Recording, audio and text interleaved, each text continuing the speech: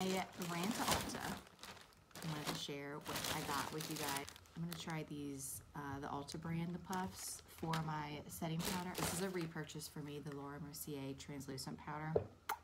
I love it. It is perfection. Then I got this new brush. I was very intrigued because if you guys can see, it's like open in the back. It's supposed to dry your hair quicker while contouring to the scalp for comfort.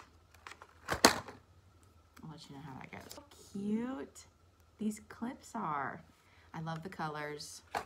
Had to get them. And I also want to try this brand, The Ordinary. Have you guys tried this brand? I got the hyaluronic acid 2% and B5. Niacinamide, yeah, and zinc.